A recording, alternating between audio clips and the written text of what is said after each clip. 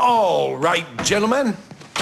Prepared to taste the most succulent, evenly marinated beef that you have ever. Is that my robe? It is indeed, Horace. And it is comforting me at an elite spa level. I think I should also point out that I'm absolutely famished. And those fillets actually smell promising. Sweet. That's what I'm talking about. It's Henry. They're ribeyes. Is there a problem? Well, look at it. It's still got the marks where the jockey was hitting it. You're free.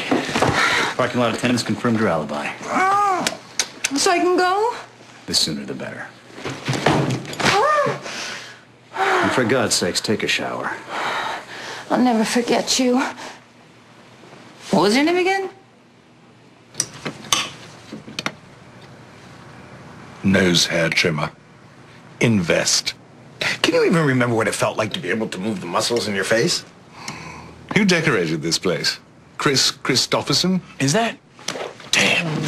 I built that table. Really?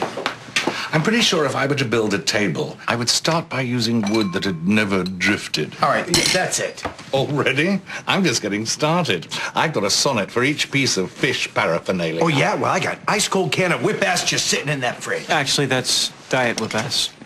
Yeah. You must be out of your damn mind. Dude, you have three full cups. I will slap you, Sean. Now, tell me, are you absolutely certain that this cow shoulder on my plate is in fact dead?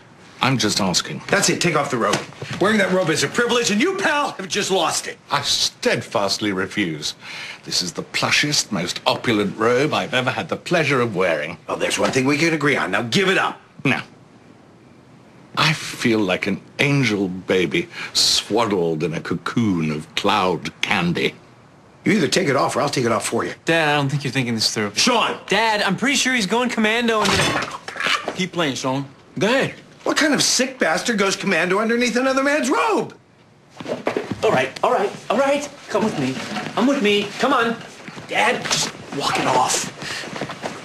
He's not staying here. He violated basic robe code. Rope code violation. Check. Look, Sean, there's a reason this guy's on the run. He's been here 10 minutes even. I want to kill him. That's the problem, Dad. How do I protect him from everybody? You've already got a suspect in jail. She was just released. Now we have a plethora of suspects and no way to narrow them It's down. easy, tighten your focus. Who does he victimize the most?